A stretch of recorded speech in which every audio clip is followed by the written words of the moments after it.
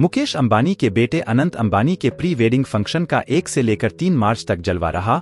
अब अनंत अंबानी और राधिका मर्चेंट के प्री वेडिंग फ़ंक्शन के वीडियो सोशल मीडिया पर जमकर वायरल हो रहे हैं। इस कार्यक्रम में कुछ ऐसा भी देखने को मिला जिसने सबको हैरान कर दिया। अनंत अंबानी और राधिका मर्चेंट के प्री वेडिंग फ़ंक्शन में सलमान खान, आमिर खान और शाहरुख खान एक ही स्टेज पर डांस करते हुए नज़र आए।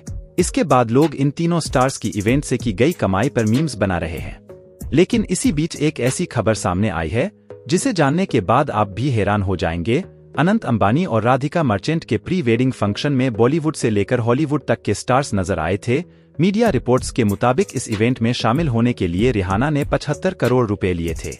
साथ ही साथ सोशल मीडिया पर शाहरुख खान, सलमान खान और आमिर खान को लेकर भी खबरें फैलाई जा रही थी कि इन तीनों स्टार्स ने भी अनंत अंबानी और राधिका मर्चेंट के प्री वेडिंग फ़ंक्शन में शामिल होने के लिए मोटी रकम ली थी।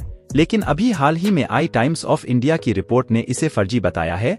रिपोर्ट के मुताबिक इस कार्यक्रम में शामिल होने के लिए सलमान खान, आमिर खान और शाहरुख खान ने कोई पैसे नहीं लिए थे। कंगना रनौत ने अभी हाल में अपने इंस्टाग्राम हैंडल से पोस्ट शेयर कर अनंत अंबानी और राधिका मर्चेंट के प्री वेडिंग फ़ंक्शन में शामिल होने वाले स्टार्स पर तंज कसा था। कंगना रनौत ने लिखा था कि, मुझे चाहे कितना भी पैसों का लालच मिला हो लेकिन मैंने कभी शादियों में डांस नहीं किया। कंगना रनौत का ये पोस्ट सोशल मीडिया पर जमकर वायरल हुआ था। शाहरुख खान, सलमान खान और आमिर खान को लेकर आपकी क्या राय है? कमेंट करके हमें ज़रूर बताएँ। बॉलीवुड से जुड़ी और भी ऐसी अपडेट के लिए फ़िल्म फ्रंटलाइन को सब्सक्राइब करें।